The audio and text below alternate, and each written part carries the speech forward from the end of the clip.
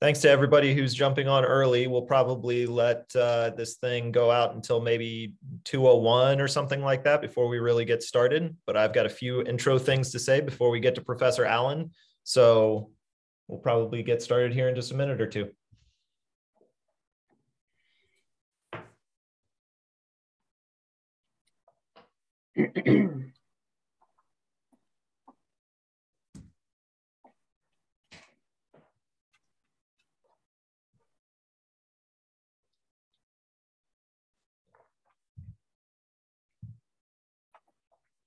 you guys are seeing the slides okay, right? Yes. Okay, perfect.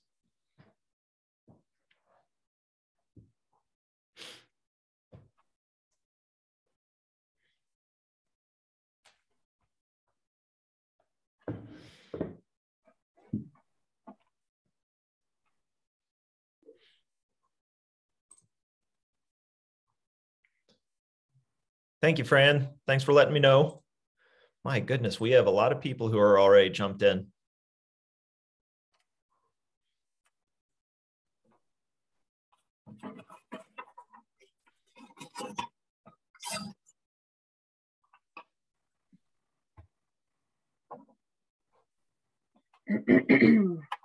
All right, I am going to take this down. My guess is we're going to still have plenty of people who are joining in for the next two or three minutes. Um, but I'm going to go ahead and get started.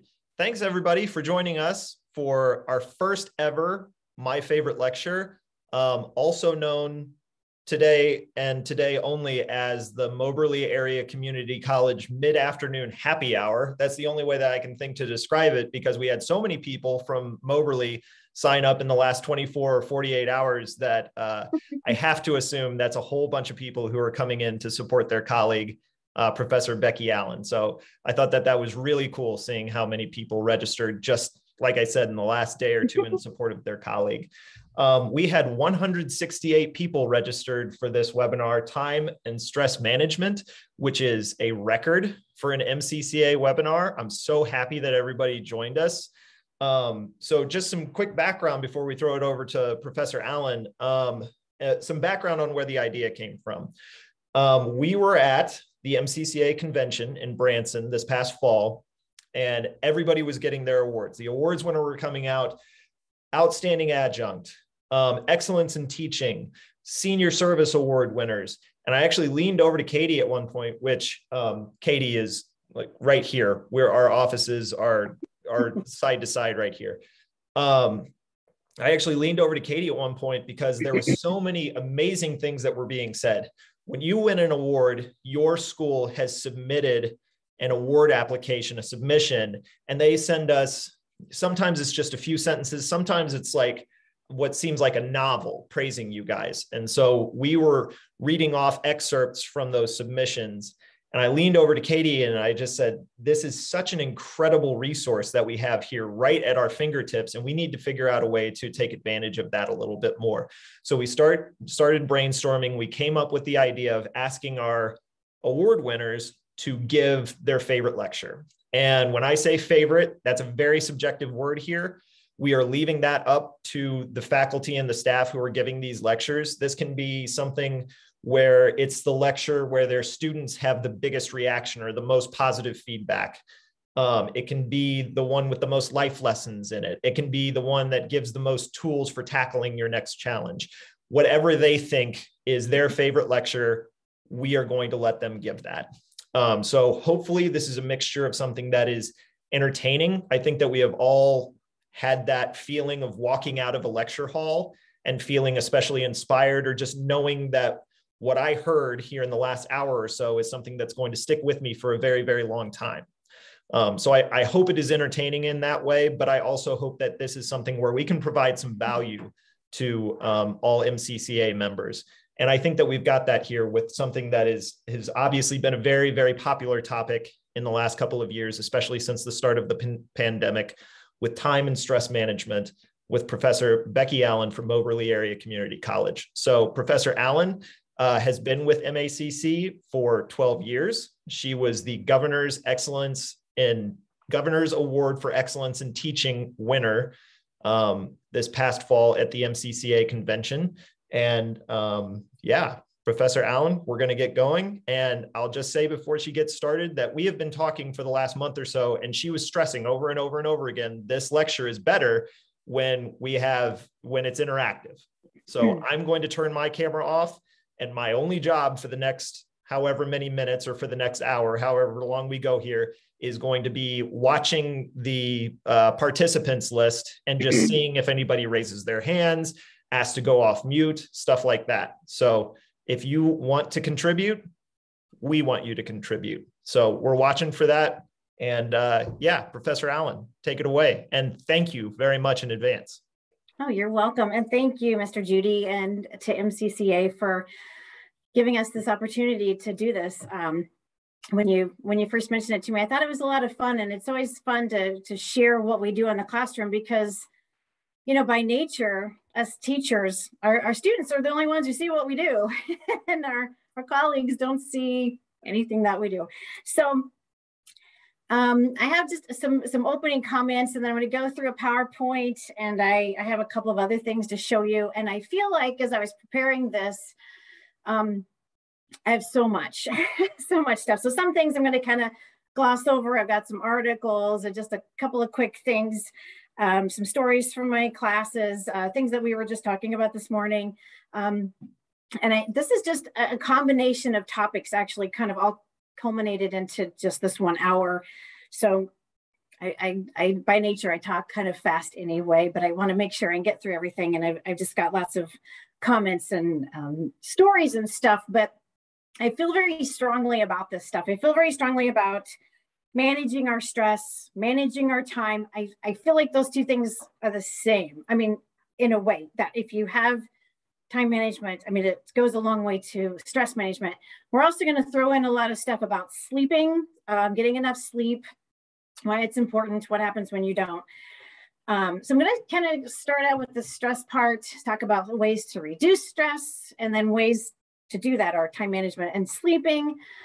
Um, so I just wanted to start out with a couple of things. What I do uh, in my classrooms to try to inspire kids, to try to uh, get them to make that transition. I feel like it's very important also just transition from, I know they're coming in from chemistry or calculus or something and come into my class and it's like, okay, so get to have a small conversation and talk about things, just anything. Um, and then just you know transition into our class um, i like to do a lot of inspirational quotes last year MC, uh, MACC was, we were all virtual the whole year. And so this room, actually, I had my picture of Mr. Rogers right here and I quoted him all year. And um, I feel like it's, it's, those are some good ways to, you know, to work on stress, also to have something motivational and stuff. Um, so one thing that I like to talk to students about also about when we're trying to talk about change, trying to change something about us, trying to, for the good, for the better, trying to develop that stress management, the time management, trying to make things better for ourselves. Um, I have a joke and I'm not that funny. And I, am just going to throw out the question and then I'll just go ahead and give you the answer. But I, I feel like this is really key. So a lot of you have heard this, but uh, how many psychologists does it take to change a light bulb? The answer is just one, but the light bulb's really got to want to change. So the whole thing about today and everything I'm going to talk about, it only is good if you really want to to make things better. So I was talking to my students this morning because we were on the, it was supposed to be last week, but we had the snow. And so um, it, it was today. And I was telling them, I was like, I'm going to be talking to some other people about this later today the thing is, I think that students come in and I, I see it. I see them, they look stressed out and they say they don't sleep at all and they have five jobs and 20 classes and all this stuff and they've taken on too much. But also they have just resigned themselves to the fact that they're just going to be unhappy. Everything stinks. Everything is awful and it's just going to be awful until they're done with school and they get a job. And always like you know first of all when you get that job you're gonna have, there's gonna be stress and there's i mean it's not like once college is over everything's perfect in your life so you've got to start to learn how to deal with stress now. And i tell them when you can manage your stress and get better sleep manage your time get organized with things. Um, you can be happier. Until they're like right now you could actually be happier. You can get more sleep. You can get be more efficient with your homework. And as i suspected i've got a cat trying to get into something i knew i almost said i got a cat and a dog or two cats and a dog is going to do something anyway um they just don't realize that they could be happier and more efficient and that things can be good and they can in, enjoy their classes. That's what I really come around to. I'm like, you know, I, I enjoyed college. It was stressful, I had a lot to do, but I don't want them to just get through it. I want them to remember, you know, we all look back on college and things we did and and I want them to to to be healthy and safe and also maybe enjoy some things. It doesn't have to be so awful. So this is not an exact science. These are just some things that I do in my classroom with my students it's a whole semester project. So I'm going to cram it all into right now. Um, and it's not an exact science. Like I said, it's just some things that we do. And even the things that I talk about, I, I try to kind of pare it down. I have a million things about stress management, way more things to do, uh, more tips for sleep, um, time management, even I've got a whole thing. And then um, another thing that I feel very strongly about is building community, which I feel like, say this again, um, which I feel like is a way to um, manage your stress when you build that community. If you have that the support you've got to have your people. Who are you talking to? Who you know what are you hearing? What are some positive things that you're hearing? So i feel like all of that is very important um, you know as we go along. So i feel like us also as faculty and staff and working with students and just in our lives and everybody else that we talk to i feel like it's important if we all adopt some of these ideas or you know these these practices things that we can do with our students but things also in our own lives. I know i'm always working on time management things that i can do trying to see if i'm stressed what's bothering me what can i do about it how can i cope? Because i don't want to be stressed out all the time. Um, i have a lot to do. I have lots of grading to do like everybody and um, i always have to just manage my time and try to get that done. And so just things that i do to try to you know get help that along and also just show students that you know we all have a lot to do but it's manageable if you prioritize and do things like that. So i also have another little quote it's the mary engelbreit thing i have a you know daily calendar. And it's kind of like that uh, a little bit like my joke it's a little bit different but it actually was yesterday's day and it says take responsibility of your own happiness never put it in the hand in other people's hands. And that's the thing you know nobody's really respond if you're waiting for someone else to make you happy if you're waiting for other people to do it for you it might not ever happen. So you've got to be you know taking care of yourself. You've got to do these things. You've got to be proactive. You've got to get a handle on these things. And no one ever talked to me about this stuff in college ever.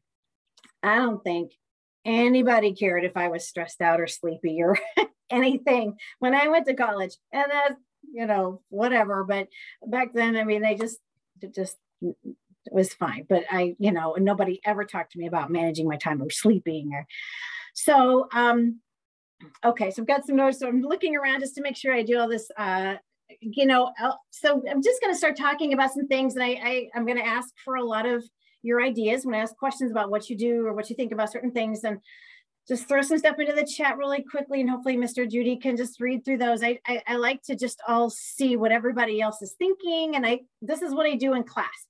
And so as we go through the chats and stuff, um, what I like to do is in class and not every day and i have full classes so i know with hybrids it's more difficult but uh, sometimes in class, I just throw out a different topic and talk to them about different things. And then we have a stress chapter. General psychology lends itself to this topic so much more easily. I mean, we had a chapter about sleep today. So we're talking about sleep. We had a long chat about that. We have a stress chapter, but I started talking about these things at the beginning of the semester and I, I kind of keep at it.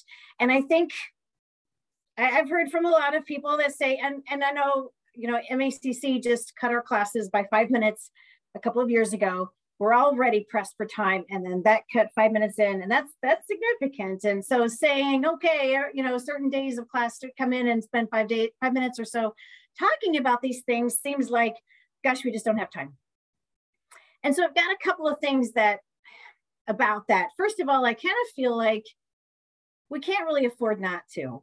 I feel like our students' mental health and and and their happiness is worth spending a few minutes on and talking to them about it.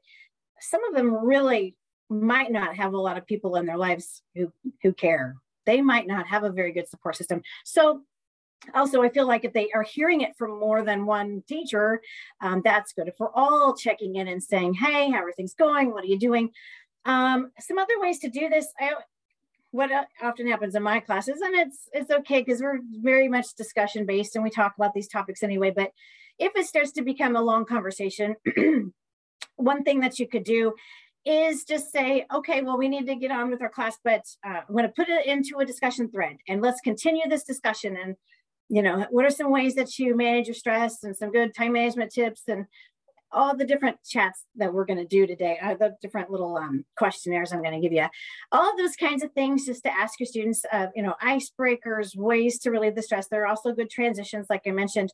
Um, and don't forget your online students. I, I try to so every week we usually have a, a, content discussion and then for lack of a better term i just call them chatty discussions um, where they just talk about stuff. Like this week's or this past week's topic was what's your favorite comedy? which we're going to talk about this, this is very important. Um, and they all just talk to each other and they're building that community but also i feel like watching comedy is a good stress reliever. Um, but you can you can still get your online students involved and you can still talk about these things. You can provide them with articles um, show them how important this stuff is. Just check in with them. One thing that i like to do well i mean that i that ends up needing to be done is when we do have these discussions at the beginning of class i kind of try to notice if there's a student who seems like they've got something particularly going on you never know i mean i've had students who you know halfway through the semester i found out that their child has leukemia and they have been going to St. Louis every other day for treatments. Oh my gosh. Um, so I kind of jot down, you know, names of a couple of students who seem like they're struggling and, and just maybe send them a note. Hope you're doing okay. Let me know if there's anything I can do, even if they don't write back, because you know they don't always write back. Um, showing that we care, just showing that we're all out here and we're we're all stressed out too. We all, you know, from different times. Um, there's just sometimes are busier than others. We're all going through things and we all have to try to keep that under control. So I think that if we can adopt some good habits and try to help the students, you know, and it's a process. It's not like you're going to wake up tomorrow and never have stress again, never be unorganized, but just trying to, to keep on track of those things. Um, so let's see, I'm going to go ahead and share the beginning of my um, hold on, it's not coming up with my PowerPoint for some reason. And I've got it. I'm seeing a bunch of stuff I don't reckon. Okay, there it is. I was gonna, I'm not a techie. If you guys know me, I'm a Trekkie, not a techie. So, okay.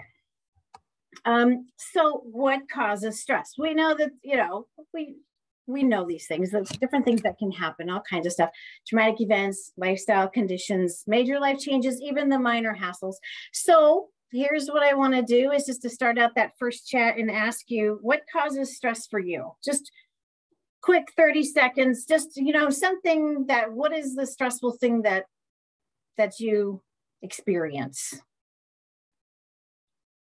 Busy schedules, yeah.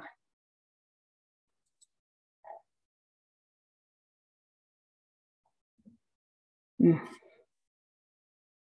Mm-hmm.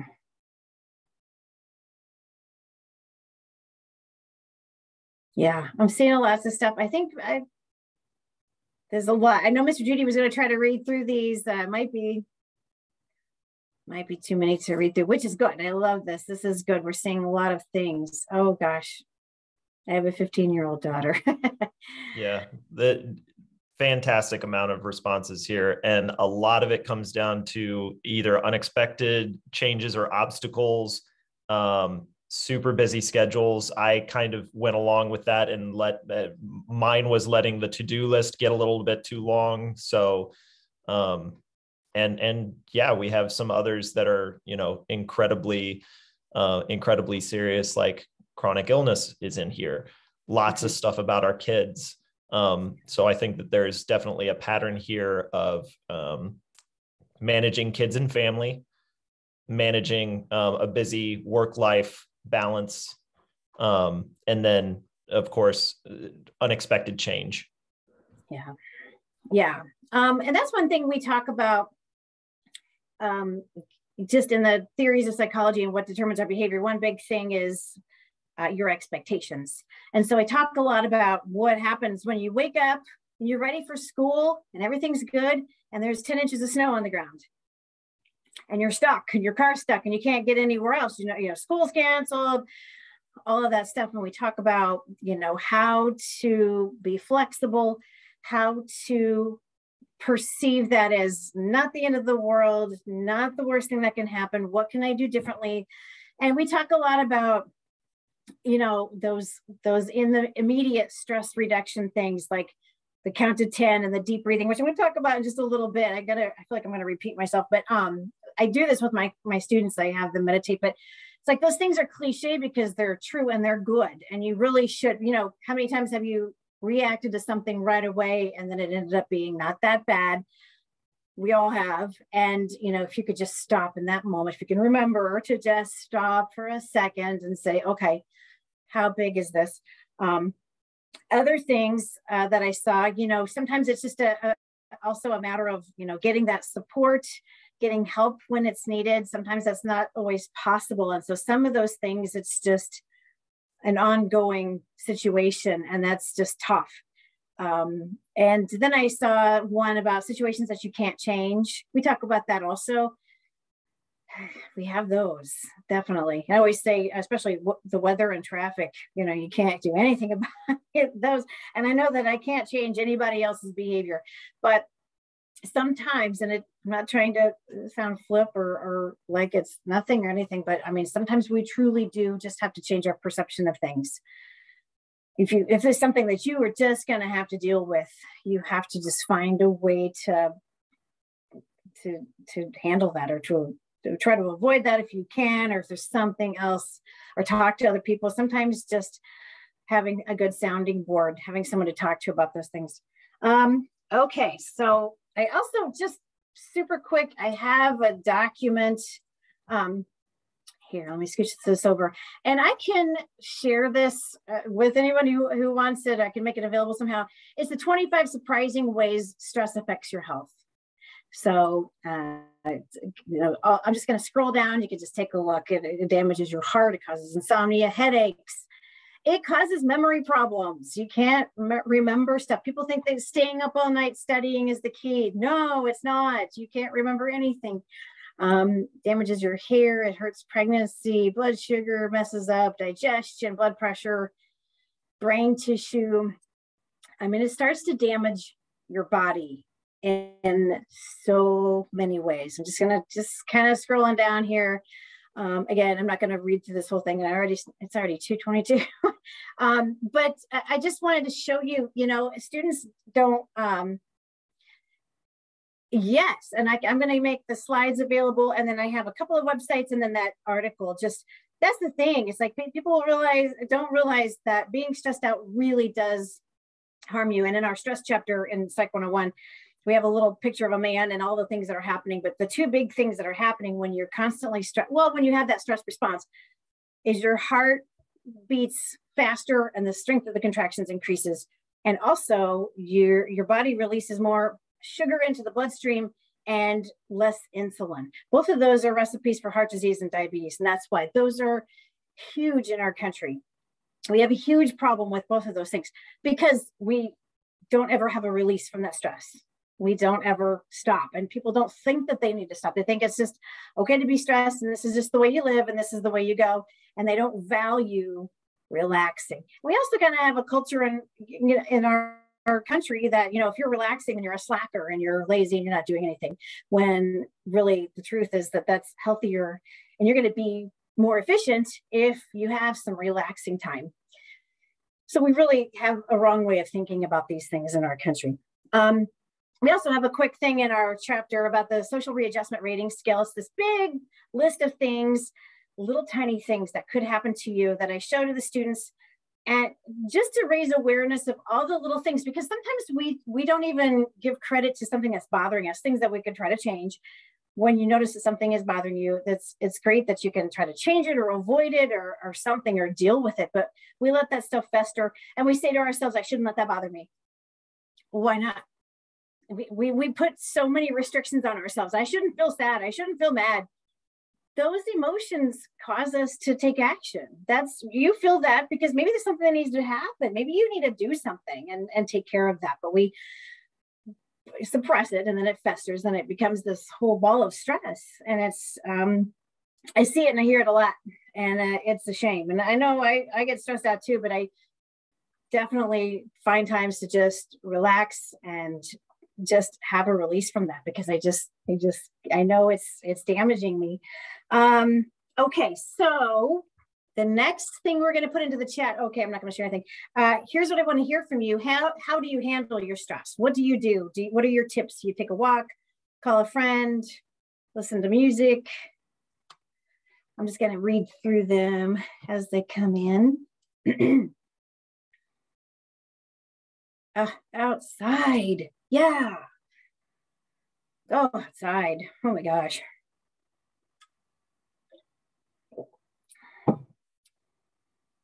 retail therapy. oh, yeah. We need to hug each other. And in the pandemic, we can't hug as much. Um, I, I miss hugging people. We're all like six feet away. okay. Yeah. Yeah. Walking, you know, any kind of I say taking a walk with a friend is the best thing because you're walking and talking and you get those endorphins and all of that stuff. Yes, the deep breaths. Um, so I do this with my my students, and this is a little bit uh, actually another slide, but um, okay, just keeping track of my stuff. Um, and so yeah, I mean, there's lots and lots of things that we can do, but I like uh, when the students all talk about all these things because they give each other ideas, and um, you know, just talk about you know how do you handle stress, and it's it's you know even some sometimes students say that they cry. And it's like you know yeah sometimes you just feel like crying and it's okay. You have to release that. And we hold too much in and you just need to feel your feelings. And uh, you know there's you know no problem in, in doing that. Um, let me go on and share a couple more slides here. So um, oops okay so here are just some tips. Gosh i've got a, a million things. I, again try to pare it down and i know there's too much on a slide but connecting with family friends neighbors um, being outside. I, I, think being outside is like the, the number one thing because you got to get that sunshine and fresh air. Maybe if you're walking around a little bit you're, you're doing something. But um, with you know our internet and the way things are and skyping and facetiming and stuff you can play an online game together have a meal together with other people um, now here's the thing too um, i wanted to ask you all uh, being from other community colleges around missouri um, seeing a therapist. I mean, sometimes these are things. It's it's it's too much more than just these things that we've mentioned. You need to seek professional help. See a therapist or a counselor. Help your students find these resources. I know that at uh, MACC we have the student assistance program, and we also we're very lucky. We have a special agreement with a Central Methodist University where we have their clinical counseling services um, and we students, it's free. Uh, both of those are free to our students and they can uh, access that and it's Zoom now. Used to just be on the Columbia campus. And so showing students how they can access that, reminding them, put that information out there so they can see it. Um, I think that's very important. And I always tell them this might be the last time you ever have free counseling, you should go. but um, this is the big thing. A lot of students say, I don't need to see anybody. It's not that bad yet. And that that's where I say that's exactly when you need to go see somebody. If it's if it's if it's a bigger problem, sure, of course you need to go. But they feel like it's got to be a monumental DSM problem before you go and get some help. And I'm like, you go and talk to somebody before it gets worse, before you can't even go to work or school and it's debilitating. And go and talk to somebody now about anything, anything at all. So, what I want to ask you all now, as a, colleagues from other community colleges, do you all have counseling services available to your students at your schools. I'm just wondering if you do have that kind of thing. Okay. Jefferson College. Okay. Okay. Okay. So St. Louis Community College. Okay. Brief, more short term. Okay. Crowder. Okay. Okay. Great. Okay. Another partnership with CMU. It is difficult to get students to utilize, but part of, oh, OTC, um, part of my thing is, again, we need to advertise it more. If we're all talking about it, normalizing these things, I think is a, a key. Um, and uh, creating a counselor center at North Central Missouri College. Okay, uh, yeah, I think, uh, I don't think there was counseling available when I was in college. If there was, I did not know about it. So again, just kind of normalizing those things and, and talking about that and saying, you know, I've had a few students who have gone to to get help, but um, it surely, you know, I always feel like everybody could go and talk to somebody once or twice, you know, but I even tell them if you're having trouble in algebra, go talk to somebody, you know. and and there's gold in in they say, I can't tell all my troubles to strangers. Like there's gold in strangers. They are gonna keep it quiet. They're not gonna put it on Facebook. Nobody's gonna even know you were there, and they're gonna listen. And you could do all the talking, and it's perfect. So um, anyway, just that's just another thing is just making sure that the kids know about that. Students, I say kids, I'm sorry, students know about that. So just some other tips to manage stress. Um, and a couple of other things I'm going to do. So I'm going to do another chat here in just a second. I'll just kind of read through some of these things. Some some people mentioned a lot of these things. I'm really big on the comedy thing. I mean, I don't watch a ton of TV, but I also part of my thing is I talk about like I was talking today about how we have a culture where we need to zero in on something and we don't let up until it's over, until it's the problem solved or the task is done. That causes stress. And sometimes when you're zeroed in so much on something, you can't see it. And how many times have you walked away from something and then you came back and you're like, oh, there it is.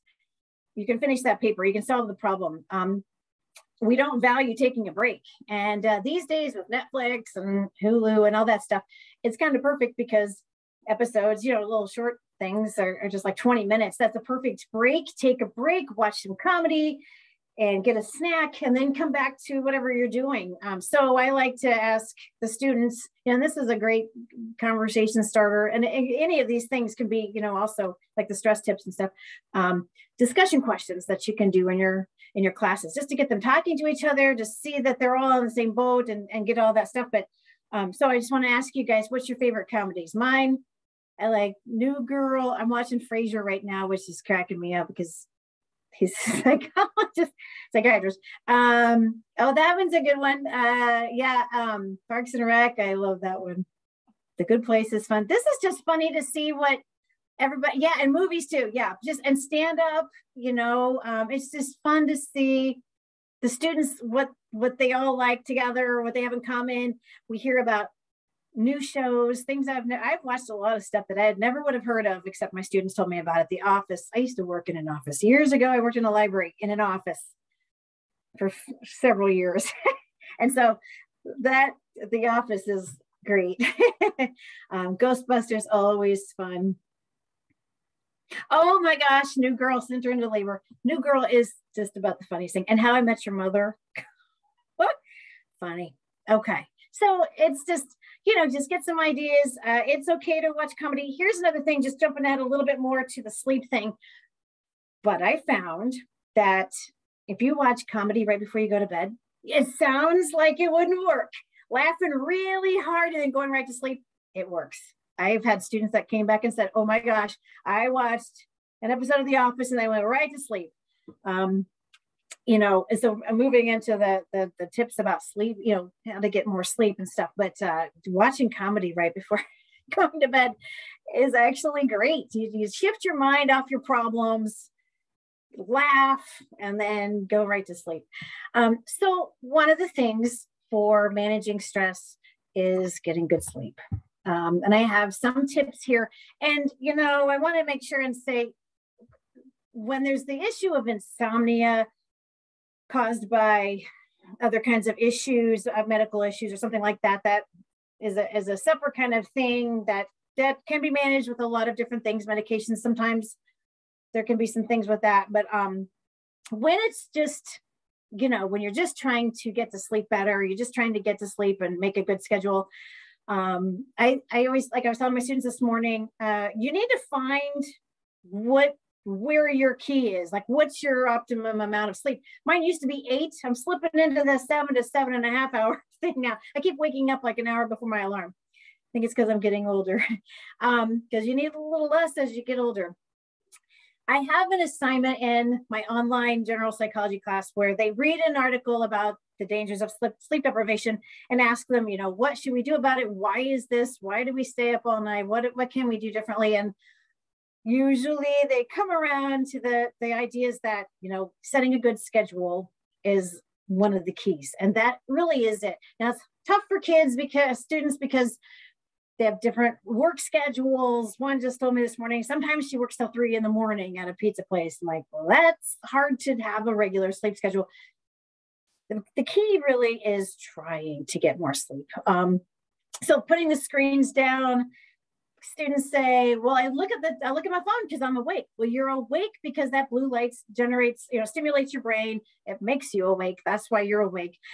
You've got to put it down. Uh, another thing is you really need to put your phone about six feet away from your head when you go to sleep because when it lights up with alerts or, uh, you know, there's some kind of, I'm not sure what it's called, but some kind of rays or something that kind of emits from the phone. And that messes with your sleep schedule. If you're like in a deep sleep, that will actually interrupt your deep sleep and then you don't feel rested. We don't, we're not really always aware of that. So there's that. Um, don't exercise, drink caffeine or alcohol right before bed. People think, oh, I drink a beer and that relaxes me, but that actually messes with your dreaming. Alcohol right before bed is actually not a good idea. Uh, weighted blankets are helpful, especially in the winter. Yoga, meditation, managing the stress.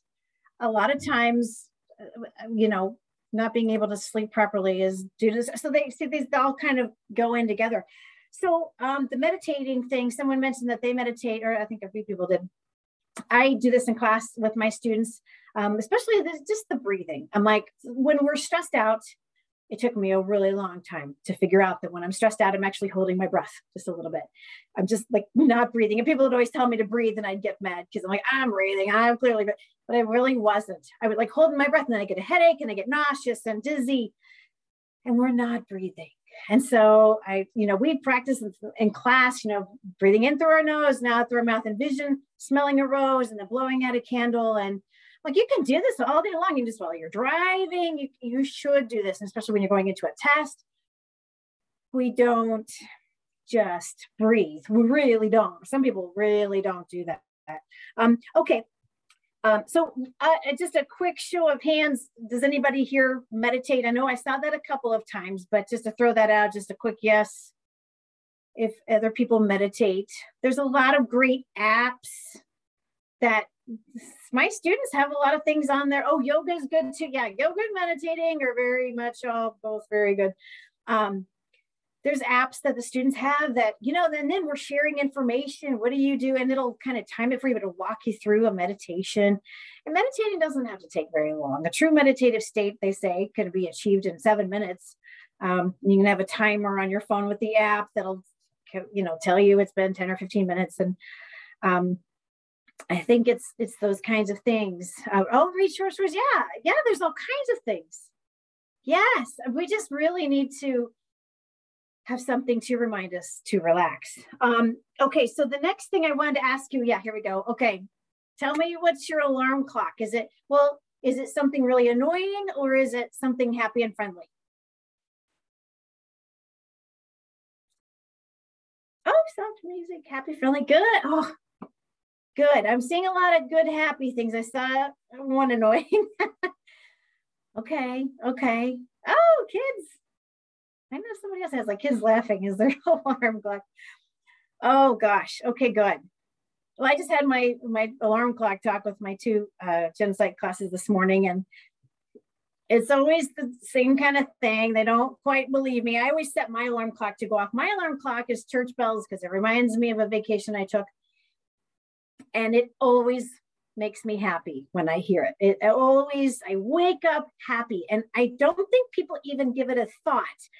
But when your alarm clock is annoying, and, and I talk to my students about this, and this is another thing you can just talk to your students about real quickly. Is just maybe try to think about changing your alarm clock because when your alarm clock sound is annoying, you wake up kind of angry or, or annoyed, you know? I mean, you kind of wake up hearing this yucky noise. Now I know the wisdom, I have heard, heard this for 12 years that if it's not annoying, you won't wake up. That's not true. Um, the main thing is if you've had enough sleep, you'll wake up to any noise. But, uh, you know, if you, you know, get yourself ready to, oh, some people don't need alarm clocks at all. I wish I didn't. I wish I could just wake up. Um, if you have something that's happy and friendly, um, you're just going to wake up happier and friendlier. I just feel very strongly about a, a good alarm clock sound. Um, so, you know, like a, a, a, nice song that you like, and then they say, well, we'll get tired of that song. And so change it up every once in a while. And so, like right now, I have two classes that I've charged them with trying this out and try it on the weekend when you don't have to get up at, you know, five o'clock in the morning and be somewhere, maybe on the weekend or something. But if you've had enough sleep, you put your phone away and turn it up, and then you'll have to get up to turn it off. But just wake up to something happier. I feel very strongly about that. That's then you're already going to start out a little happier. so, okay, so there's that. Um, okay, so then also I was going to ask you guys, um, Grace. Oh, oh, I must have missed that one. Um, okay, so I was going to also ask you to put into the chat what are your tips for for better sleep? What there's because there's lots of different things that people do. So, do you have some kind of a routine or something specific, or like a, a white noise machine or something? Good sleep hygiene, yeah, yeah. The fan, yeah, that's a big one. fan, fan humidifier, yeah. Those, you know, those, this sounds that just kind of yeah the routine is good. Oh sorry. Sometimes i can just lull you into sleep. Reading a book. Yes reading your cat. Yeah. You know there's lots of things that and everybody's kind of different. So sometimes those tips are good but um you know we just you know everybody's kind of got to do their own things. Essential oils. If you can the same time every night and waking up yeah just i go to sleep every night around 10 and i wake up well around 6 starting to turn into 5.30 these days um, yeah keep the room cold and dark a little noise that's that's very good um, so i've got a couple of tabs to show you real quickly um, and I'm, let me kind of uh, get my other tabs kind of out of the way here to show you. Um, okay, hopefully this will work out. Okay. And then hopefully that's showing you the, just, just a couple quick tabs and I can share these, these websites, but again, just, you know, we've seen the effects of stress on our body, these effects of sleep deprivation, you know, the memory issues, mood changes. Oh, sorry about the side things there trouble thinking, concentrating, accidents, more accidents happen, weight gain, high blood pressure, risk of heart disease. Um, and, and, and there's all kinds of things. I'm not going to spend too much time going all through that. I can share that, but uh, oh, it was on my email instead of the website. Okay, well, I can share those links. There's another one. Uh, they're, they're both just the effects of sleep deprivation.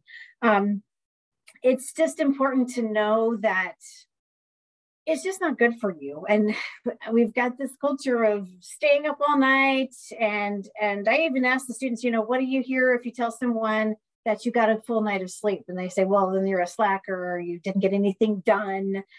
And i know that i used to grade papers late at night and it took me three times as long to do it at night when i was tired. And now i get plenty of sleep and i get up and i'm so much more effective.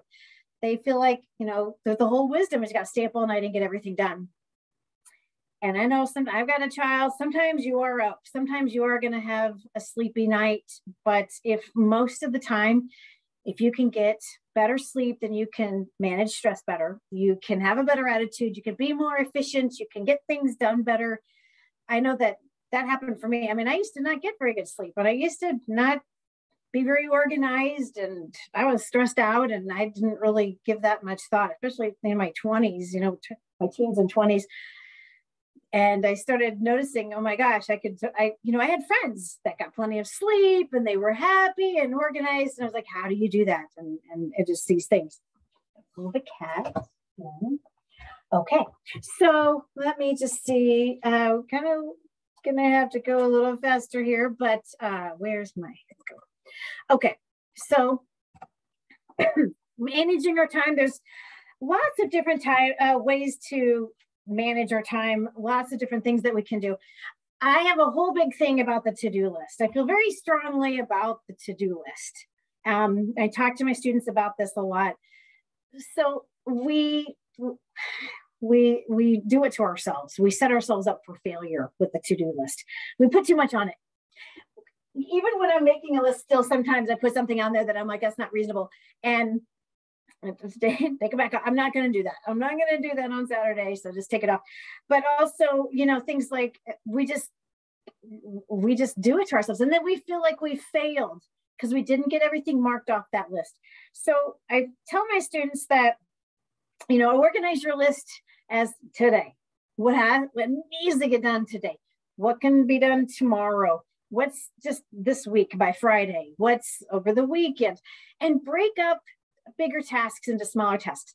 I really talk to them a lot about, you know, each assignment. When I show them an assignment, I show them how to break it up. Like, do this the first couple of days, do this a little bit. When you find little bits of time, and that's kind of one of our time management things, but, you know, look for little nuggets of time um, to try to do something. And and I'm also, you know, don't you don't have to be working and being productive all the time. Schedule in your fun time. Make sure you're relaxing and doing those things, but try to get your work done during the day when you're more efficient, when you're more alert, and then at night you can just watch a comedy and go to bed. And it's not always that easy, but and that's the thing. It's like it's a process. It takes a long time to incorporate some tips and try to to make them you know part of your routine but i feel like it's it's worth a try. I mean we have to try to you know find some ways to make things easier for ourselves because it's easy to just let it be bad. Um so again on the the to-do list like for the research paper i'm like don't put on your your list saturday write the research paper. Like don't do that. That's a terrible idea. Put uh, pick a topic for the research paper uh, Saturday. Okay. Um, you know, next week, Google that topic. Look at the book and see what the book says about it. uh, maybe find a website website that has information about it. Um, you know, and then the next week, maybe find another article. Break it up into smaller pieces. I kind of go week to week and say, maybe this week you could work on citations. Ask me questions. If you don't understand, that's part of where procrastination comes from is that don't understand what they have to do. And so they just push it off. They don't even want to think about it. So make, you know, and, and as, as faculty and staff, we can do whatever we can for students to make sure that they have all the information that they need for things.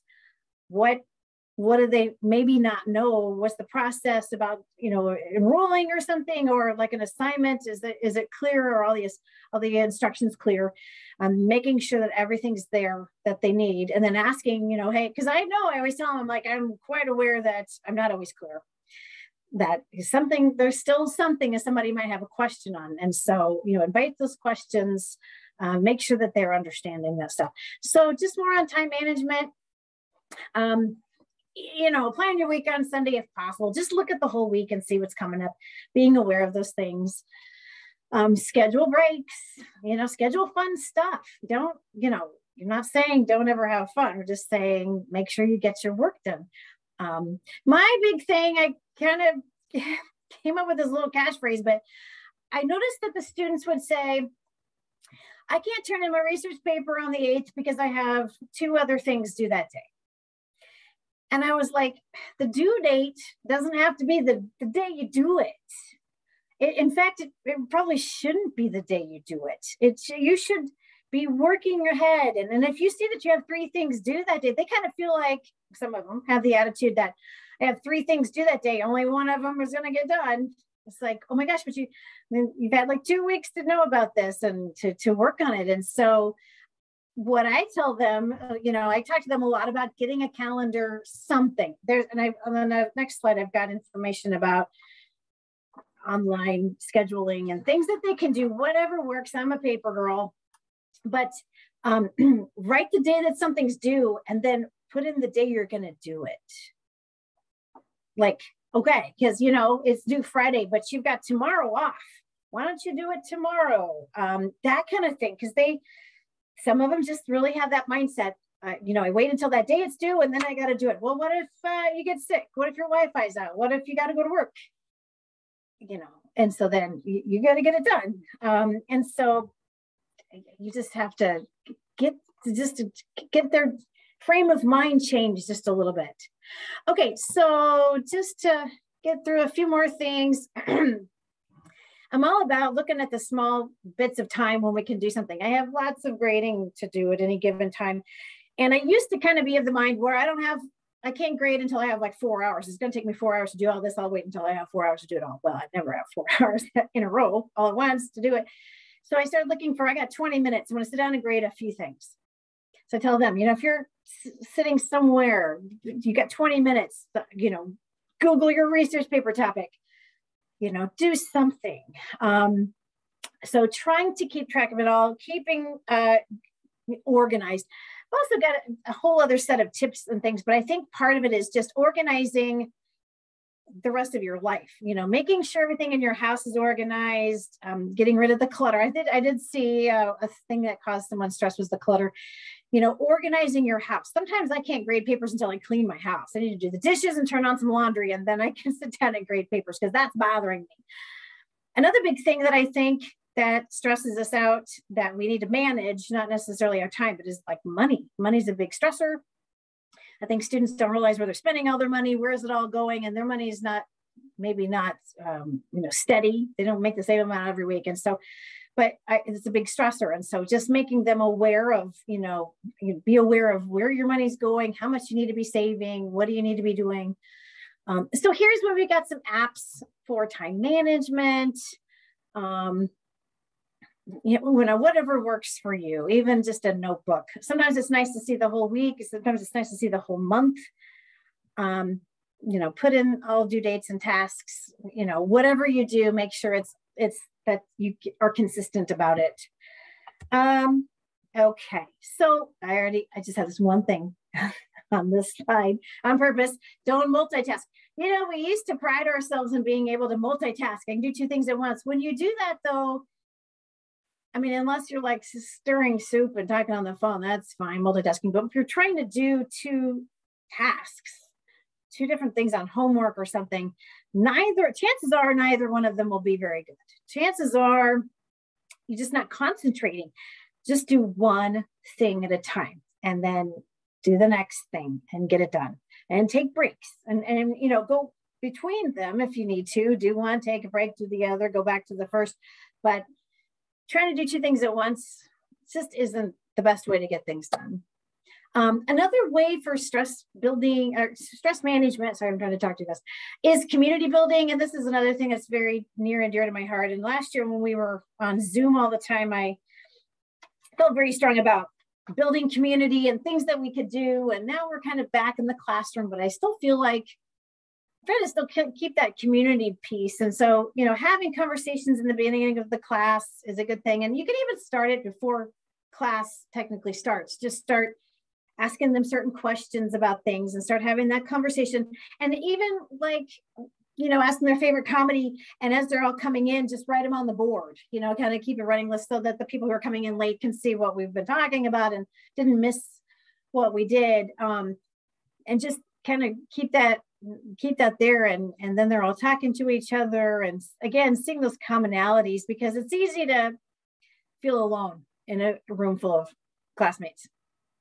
And i know i i know a lot of students that you know don't feel like they connect with the school or anybody else or me or you know so just trying to build those connections and seeing what we can do. So i call them my chatty discussions um, it's having opportunities in the class to talk in pairs or groups or the whole class invite them to come to our office hours. We've really had a big uh, push for office hours and trying to make them more inviting, make students aware of them here at MACC to try to really come to office hours. They are for you. They are for you to come and talk to me if you've got questions, if you need something, there's something I can help you with. Um, one thing I've been doing is um, with my online students because I, you know, I never see them. And so I started doing this thing the first week or two of classes is I would invite them to just come to a Zoom. And sometimes I'd have to do like a day one and a night one. Just like a 10 or 15 minute meeting where they come in and we take a class walk where we kind of I show them around. Here's where everything is. I record it, I put it up for people who couldn't come. But I feel like if they can see me and hopefully they would feel like I'm more accessible if they can see me for a minute and talk to me, and then they feel more comfortable emailing me if they have questions. Um, encourage students to study with other students. That's another way for them to feel connected. Oops. Um, so just the basics, eat right, sleep right, exercise, manage your stress, try to have fun and enjoy the classes. And here's just some other things that we get to in our in my general psych class um, just some things throughout the semester that we talk about, uh, but that positive self talk. I really feel like, so in our memory chapter, we talk about how fairly easy it is to brainwash someone. Talk about cults and how people believe what they're hearing all the time. You believe what you're hearing all the time. So, what are you saying to yourself?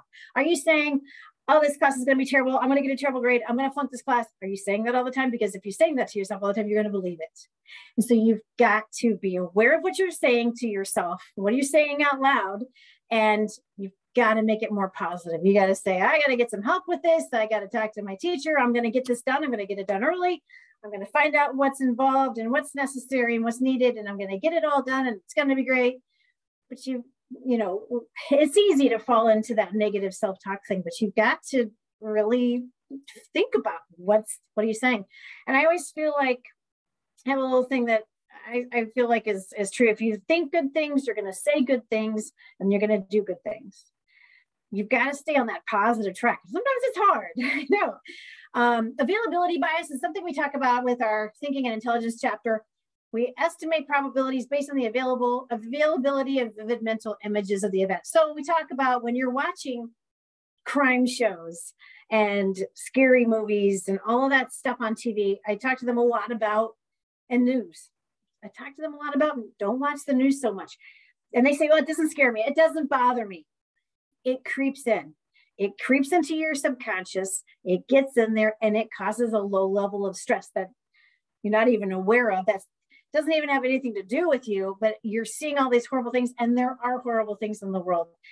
And it's not that we don't care, but it's that we have to take care of our things. And so, especially towards the end of the semester, I'm like, stop watching your TV, watch your comedy. Go to the comedy, watch the funny stuff. That's fine. Stop watching CSI and Forensics Files.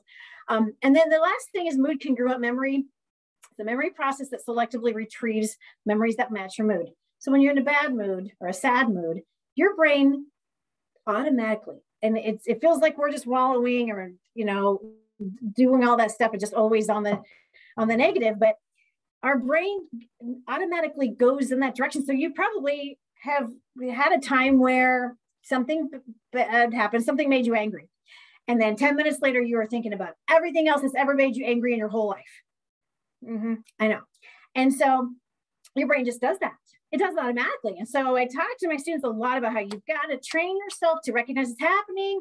When something bad happens, you've got to say this is an isolated event. I am just this is this what happened. I'm going to take care of this and go on. And and and, and when those other things start creeping in, you have to literally say, nope, nope, nope, not going to think about that. And it's a process. And I I have a lot of friends actually who work on this, and this is you know part of their thing. And they have lots of tips to try to keep from slipping into that hole, but your brain literally goes that way. Now we don't worry about when something happy happens to you and you go on to the happy, all the happy memories, because that's great. That's great. We're not worried about that. But it's the angry and the sad. We just something bothers you, then now everything's bothering you. Everything that happened since third grade is bothering you. And that's a problem. And so you've got to be aware of how all that stuff is bringing you down. And you've got to find a way to deal with that and not let it ruin your whole day just because something happened. And just find a way to get good support and manage that stress. So I've got one final, I think I'm gonna actually end on time. I've got one final little um, saying my for my Mary Engelbreit calendar and it's uh, today's, today's uh, date. And it says, walk towards the sunshine and the shadows will fall behind you. So you've got to make it happen. You've got to try to be happier. You've got to try to be more efficient and effective and get more sleep. And it's a process and it takes a lot of work um, but it can happen and it can happen for all of us. And our students can be happier and feel more supported and feel happier. And we can all enjoy this if we try. So I think that's it. Thank you all very much for coming. Thank you so much, Professor Allen. And thank you so much to everybody who joined us. I'm going to preview next week's, uh, next month's My Favorite Lecture, but this was our first ever time doing this thank you so much to Professor Allen. Um, I think there was so much in here that I think uh, just instinctively we know, but we need to hear it. We need to be reminded of it. And I know that just seeing a lot of the other folks on here who were doing and trying a lot of the things that I've been thinking about doing and trying gives me more motivation to do it. So, um, yes, thank you so much, Professor Allen. Um, thank you. Yeah, absolutely. And and again, thank you to everybody who joined us. Your time is valuable. I hope we provided some value. If you enjoyed this, stick with us in future months. We are going to be doing a my favorite lecture every uh, every month, the second Tuesday of the month at two o'clock in the afternoon. That was the feedback that I received as far as you know the class classes are typically in the morning. Then you get into the lunch hour, and then if you get away from that, hopefully we'll draw as many people as possible. Um, the second Tuesday of the month, um, I'll probably only switch that up if we're like in a finals month, like May or December, move that up to the first Tuesday of the month. Regardless, if you're an MCCA member, you're going to be getting notifications about all of this. Um, so, a quick preview of what we've got coming up next month. Um, I cheated. I just have to admit to all of you, I went ahead and I cheated. So one of the OTC uh, award winners at the convention this last fall was Charlotte Choate. Very deserving uh, award winner. I messaged her. I asked, "Hey, would you be interested in doing this my favorite lecture project that we're trying to launch?" Well, she is a nursing instructor, and she said, uh, "My favorite lectures uh, include bodily functions and infectious diseases. And I just really don't think you're going to have very many people who are going to sign up to see that lecture. So she sent me along to somebody else who is super excited to talk to us next month. Oh, started from the beginning. We're going to have Dr. Susan Inman from OTC, and she's going to be talking about autism in higher education breaking down barriers. Um, so that's going to be on Tuesday, March the 8th at two o'clock in the afternoon. I hope you set your calendars. And like I said, we'll be sending out um, reminders to everybody here, you know, a week out or maybe two weeks out. Um, so this one uh, is near and dear to my heart. Uh, my mom was a speech therapist for a public school district here in Missouri for years and years and years. And then she transitioned over to being an autism consultant for the state. So she, uh, for about uh, probably 15 years now, has been, um, she drives around to different public school districts around the state and just makes sure that they're up to date with their autism um, protocols and their and their curriculum and, and everything like that make sure that they have um, they're set up for success for their students who are diagnosed with autism. So as that has been the focus for the last 15 or 20 or even 30 years in the elementary and the secondary education environments more and more of those students are succeeding more and more of those students are getting into higher education. So dr inman is going to be talking to us about the neuroscience behind someone who is diagnosed with autism, the neuroscience behind how their brain is processing the information that you are uh, giving to them in the classroom, how you can set them up for success. So I hope you will join us next month. Again, that's going to be Tuesday, March the 8th at 2 p.m. with Dr. Susan Inman. And yeah, that's it. Thank you so much to everybody for for joining us. At our peak, we had 97 people who were here and and and joining us and participating, and the interaction was just tremendous. So, if you enjoyed this, please come back. please tell your colleagues about this, especially if you found found some value in this. And um, yeah, I hope everybody has a tremendous rest of their Tuesday. And thank you very much again to Professor Allen. Thank you. Thank you. It was fun. All right. Thanks, everybody. Bye.